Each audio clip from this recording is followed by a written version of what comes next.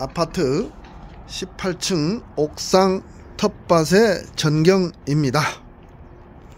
아, 각종 씨앗을 뿌리고 어, 모종을 심는 그런 작업을 했고 어, 씨를 뿌리지 않았어도 그냥 나는 그런 작목도 있습니다.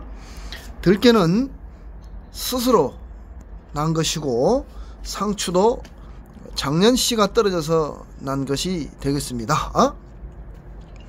이거는 쌈채르는 모종을 사다가 심었는데 이렇게 잘 자라서 곧 이제 첫 수확을 눈앞에 두고 있고요. 고추도 어 청양고추와 오이고추를 구분해서 심었고요. 어 여기 에, 쑥갓은 파종한 지 2주가 됐는데 이렇게 아주 잘 자랐습니다. 에, 화분에다가 부추를 심어서 이렇게 키우고 있는데 이게 아주 쏠쏠합니다. 매년 풍성하게 잘 자라고 있습니다. 이 옥상 텃밭에 아침 저녁으로 와서 물 주는 재미가 아주 쏠쏠하고 힐링이 되는 그런 공간입니다. 좋은 옥상 텃밭을 갖고 보도록 하겠습니다. 대단히 대단히 감사합니다.